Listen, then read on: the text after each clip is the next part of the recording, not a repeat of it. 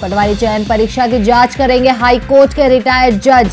CM ने कहा, जब तक संदेह समाप्त नहीं होगा, नियुक्ति नहीं होगी। मणिपुर की राजधानी इम्फाल से 35 किलोमीटर दूर भीड़ ने दो महिलाओं को नग्न अवस्था में घुमाया। वीडियो हुआ सोशल मीडिया पर वायरल। पीएम ने कहा यह पूरे देश की बेइज्जती। पुलिस ने किया मुख्य आरोपी को गिरफ़्तार। संसद का मानसून सत्र आज से शुरू, मणिपुर हिंसा पर होगी चर्चा।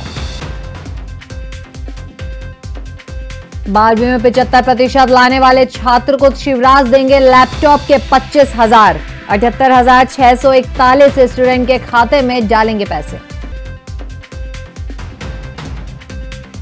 बारिश से महाराष्ट्र के चार जिलों में बाढ़ जैसे हालात। रायगढ़ में चट्टान खिसकने से एक गाँव के 48 घर बहे।